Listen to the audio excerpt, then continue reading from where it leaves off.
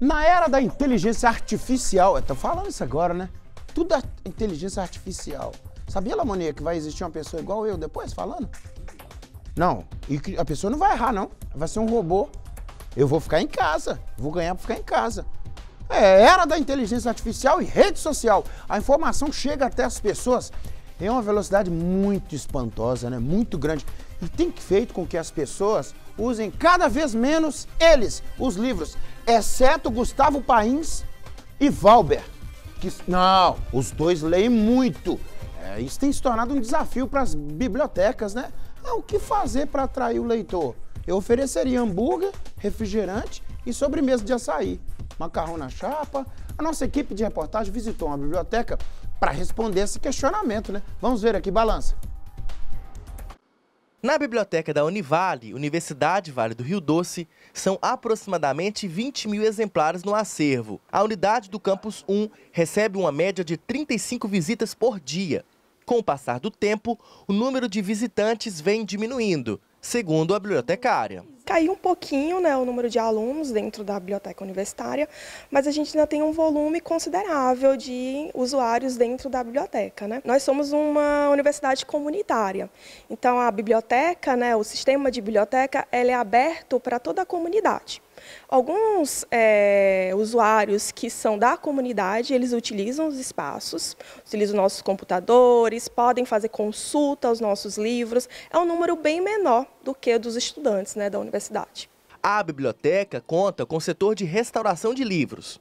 O espaço é aberto para visita pública, mas a maior parte dos visitantes são os próprios alunos, que recorrem ao espaço para os estudos, principalmente em período de provas acadêmicas. Esse volume ele aumenta durante as provas, a biblioteca lota, né? Durante o período de provas, os alunos eles procuram muito o nosso espaço porque ele dispõe também de computadores de acesso à internet. Alguns alunos conservam interesse na leitura e no uso de livros físicos, como é o caso da Esther. A estudante conta que lê em média dois livros por mês.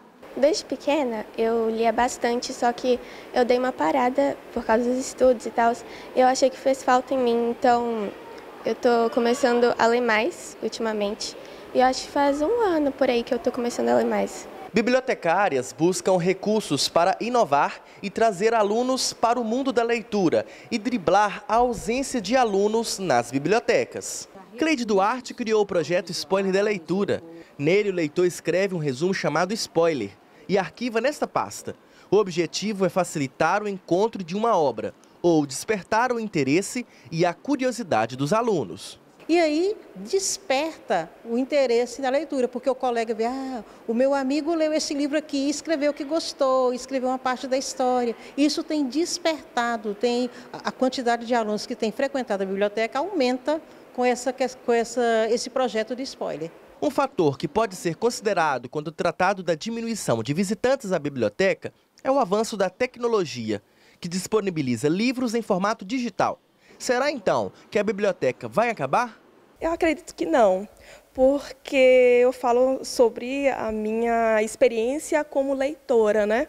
Eu atualmente eu prefiro o livro físico e a biblioteca não é só o livro físico, ela também é o livro virtual. Como eu disse para vocês, a gente faz essa curadoria de é, periódicos e bibliotecas virtuais para os nossos alunos, então a biblioteca não vai acabar não.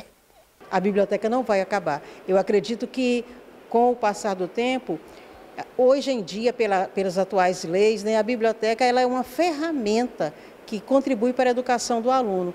Então, ela vai, vai incluir na biblioteca a tecnologia, o livro digital, mas acabar não. O aluno vai poder ter acesso né, de casa, mas acabar não, porque é necessário. O Valber, sabe o nome lá, Valber, do equipamento? Você me fala sempre é que a gente compra Kindle, Kindle, que compra o livro virtual, né?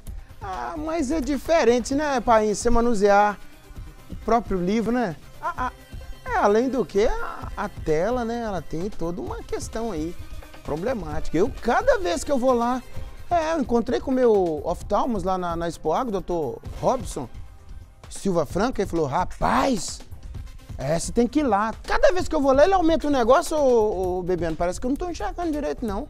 Um grau? É minha idade, será? Mas eu sou novo.